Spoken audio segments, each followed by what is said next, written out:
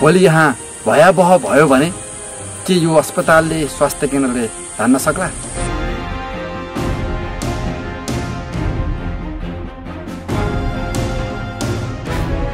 तपाईँ यदि कोरोना सङ्क्रमित भइहाल्नुभयो लक्षण देखियो भने सरकारले हामीलाई उपचार गरिहाल्छ नि भनेर पटक्कै नसोच्नु होला। भोलि भयावह हुन सक्ने अवस्था छ। यसको लागि जिल्ला प्रशासन कार्यालयले के गरिरहेको छ?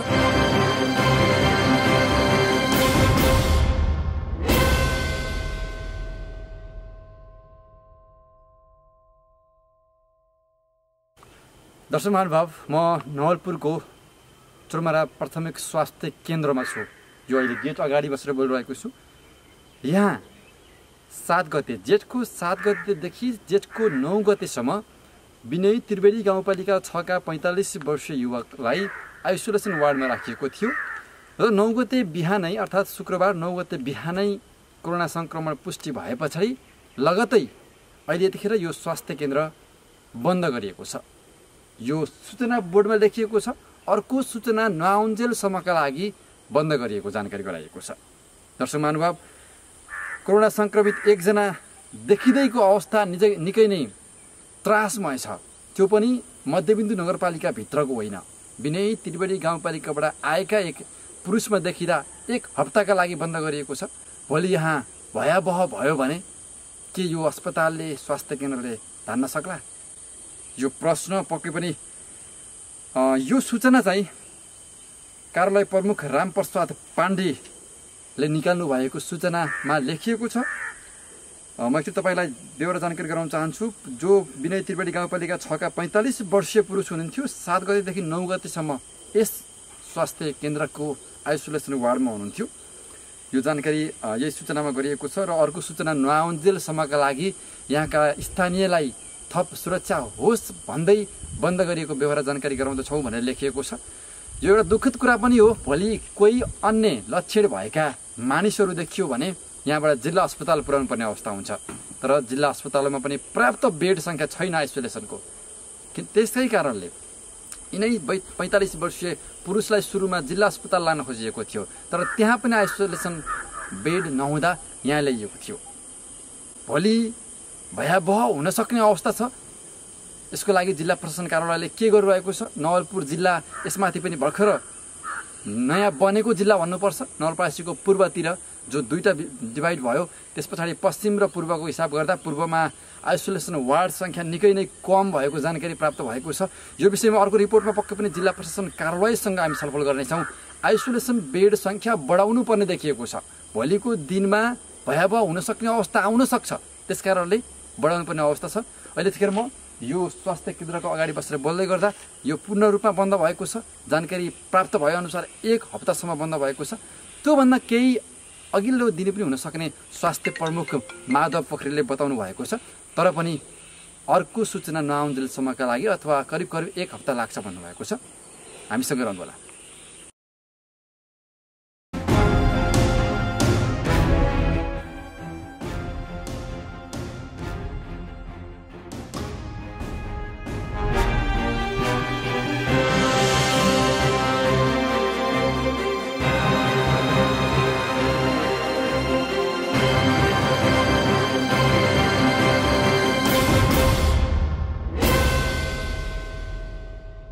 नवलपरासी बर्दघाट सुस्ता पूर्व नवलपुरको मध्यबिन्दु नगरपालिका कार्यालय अगाडि रहेको छु। पछिल्लो समय नवलपुरमा कोरोना सङ्क्रमितहरू पनि बढिरहेका छन् र शुक्रबार मात्रै जेठ नौ गते शुक्रबार मात्रै चोरमाराको आइसोलेसनमा रहेका एकजना पैँतालिस वर्षीय पुरुषमा कोरोना सङ्क्रमित देखिएपछि सङ्क्रमण भएपछि थप त्रास बढेको छ। अहिले देखेर यो चोरमारा बजारको स्थिति त्रासमय देखिन्छ एकदमै सुनसान छ। विनय त्रिवेणी गाउँपालिका छका पैँतालिस वर्षीय पुरुष जो हुनुहुन्थ्यो भारतबाट भारतको गुजरातबाट जेठ एक गते नेपाल आउनु भएको थियो र सुस्तामा दुई दिन क्वारेन्टाइनमा बसेसँगै विनय त्रिवेणी गाउँपालिकाकै क्वारेन्टाइनमा केही दिन बस्नुभयो र कोरोनासँग सम्बन्धित लक्षण देखिएपछि उहाँलाई चोरमाराको आइसोलेसनमा राखिएको थियो। उनलाई लान चाहिँ मध्यबिन्दु जिल्ला अस्पतालको आइसोलेसनमा लान खोजिएको थियो तर त्यहाँको अवस्था त्यहाँ बेड सङ्ख्या नपुगेका कारणले चोरमाराको आइसोलेसनमा ल्याएर राखिएको थियो र स्वाब सङ्कलन गर्दै गर्दा पोजिटिभ देखियो। उनीसँगै अर्को एकजना पनि सँगै ल्याइएको थियो विनय त्रिवेदी गाउँपालिकाबाट। एउटै एम्बुलेन्समा सँगै ल्याइएको थियो। तर उनको अवस्था सामान्य रहेको भर्खर मात्रै हामीले थाहा पाएका छौँ। यतिखेर मध्यबिन्दु नगरपालिका कार्यालय अगाडि बस्दै गर्दा मध्यबिन्दु नगरपालिकाभित्र क्वारेन्टाइनमा कतिजना रहेका छन् र यहाँको अवस्था कस्तो रहेको छ? अहिले यहाँको चोरमारा प्राथमिक स्वास्थ्य केन्द्र पनि सिल गरिएको छ। एक साताको लागि सिल भएको सूचना हामीले पाएका छौँ। यहाँको अवस्था ठ्याक्कै कस्तो छ? पुरा भिडियो हेर्नु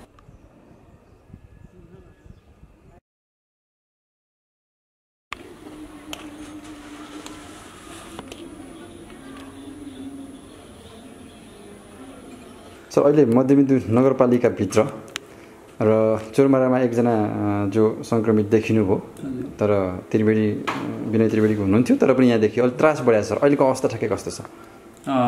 तपाईँले भन्नुभएको कुरा सही हो होइन? हामीकोमा विनय त्रिवेणी गाउँपालिका वार्ड नम्बर छको हजुर। एकजना पुरुष व्यक्तिमा हिजो आठ गते हामीले मध्यबिन्दु अस्पतालमा पिसिआर घाँटीको स्वाब लिएका थियौँ होइन जिल्ला स्वास्थ्यको समन्वयमा। र आज बिहान त्यसको नतिजा पोजिटिभ आएको छ होइन। र हामीले सात गते बेलुका विनय त्रिवेणी गाउँपालिका बाट होइन कोरोनाको कोरोनाको लक्षणहरू देखिएको भएर उहाँबाट रेफर भई बुटोल लगेको त्यहाँ पनि राख्न सम्भाव्यता नभएको र मध्यबिन्दु अस्पतालमा राख्न ल्याउँदा त्यहाँ पनि बिरामीहरू रहेको अवस्था हुँदा हामीले चोरमारा प्राथमिक स्वास्थ्य केन्द्रमा राखेका थियौँ दुईजना बिरामी होइन? जो चाहिँ कोरोनाको लक्षणहरू थियो उहाँहरूमा। र हामीले हिजो मात्र स्वाब सङ्कलन गरेपछि एकजना पुरुष व्यक्तिमा पोजिटिभ देखियो। त्यसले हाम्रो चोरमारा बजारसहित चोरमारा भनौँ न गाउँ अथवा चाहिँ मध्यबिन्दु नगरपालिका पुरै त्रासमा रह्यो। तथापि पनि त्रासमा रहनुपर्ने अवस्था छैन। हामीले सुरक्षित साथै उहाँहरूलाई ल्याएर क्वारेन्टाइन के अरे हाम्रो आइसोलेसनमा राखेका थियौँ र सुरक्षित साथै हामीले हिजो स्वाबमा पनि सुरक्षित लगेर सुरक्षित नै राखेका थियौँ र हामीले आज बिहान बिहानै साढे पाँच बजे उक्त पोजिटिभ केसलाई भरतपुर स्थित कोरोना अस्पतालमा पठाइ पनि सकेका छौँ। अब त्यो आइसोलेसनमा जो दुईजना हुनुहुन्थ्यो नि भन्नु अर्को अर्को चाहिँ कहाँ हामीले त्यो आइसोलेसनमा भएको दुईजना मध्ये अर्को एकजना पुरुषलाई पनि अहिले मध्यबिन्दु अस्पतालमा हामीले सिफ्ट सिफ्ट गरिसकेका छौँ। उहाँ पनि विनय त्रिवेणी गाउँपालिका वार्ड नम्बर छकै हामीले सँगै ल्याएका थियौँ सँगै एउटै एम्बुलेन्स एउटै एम्बुलेन्समा आएको थियो।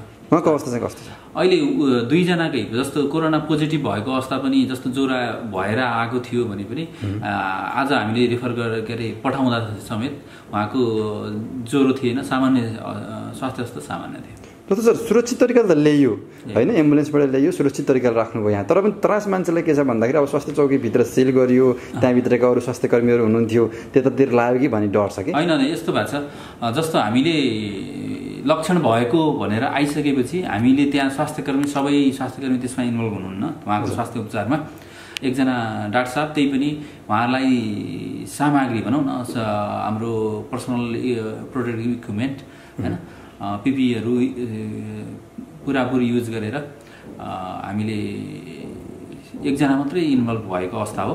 र उहाँ पनि सुरक्षित हुनुहुन्छ। उहाँको पनि पिसिआर सँगै भएको छ तर पनि उहाँ पनि अहिले क्वारेन्टाइनमा हुनुहुन्छ होइन? र सँगै हामीले अब बिहान अघि भनौँ न एघार बजीतिर एघार यस्तै बाह्र बजीतिर हाम्रो सिडिओ साहब पनि आउनुभयो। एकचोटि हेरेर जानु भएको छ। र मौखिकको अनुसार हामीले एक हप्ता जति सेवा चर्मारा प्राथमिक स्वास्थ्य केन्द्रको सेवाहरू हाललाई बन्द गर्ने निर्णय भएको छ। यो सो घोषितभन्दा पनि त्यो ऊ नभइकन भनौँ न सूचनाबाट त हामी त्यस्तो निकालिसकेका छैनौँ। हामीले एउटा स्थानीय बासिन्दालाई मात्रै त्यो त्रास नहुन हामी एकदम अनुरोध गर्दछौँ। होइन अहिले अवस्था अझ हाम्रो नगरपालिकाभित्र देखिएको केस होइन यो। त्यस कारण हामी हाम्रो नगरपालिकाभित्रको कुनै पनि व्यक्तिसँग एकदम त्यो केस टच भएको अवस्था होइन। त्यस कारण डराउनु पर्ने अवस्था छैन। तथापि पनि एउटा सामाजिक दूरी कायम गर्नुपर्ने हुन्छ नै र संयमता अप्नाउने गर्नुपर्ने हुन्छ। जस्तो कि सर आज विनय त्रिवेदीको एकजना लक्षण देखेर यहाँ ल्याउँदाखेरिको त्राससँग एक हप्ता सिल गर्नुपर्ने अवस्था। भोलि यही नगरपालिकामा दुई चारजना देखिएला भयावह होला त्यो अवस्थामा पनि सिल गरेर त भएन। आज एकजनालाई नै यति तपाईँहरू त्रासित भएको हो र? हजुर। होइन हामी त्रासित भएको होइन। यो के भयो भन्दा हामीलाई भन्दा पनि जनता आफैको प्रेसरले गर्दा हामीले उयो गर्नु पर्यो नत्र हामीले हाम्रा स्वास्थ्य सेवाहरू जस्तो अब खोप सेवा चल्दैछ त्यो हाम्रो बन्द हुँदैन होइन?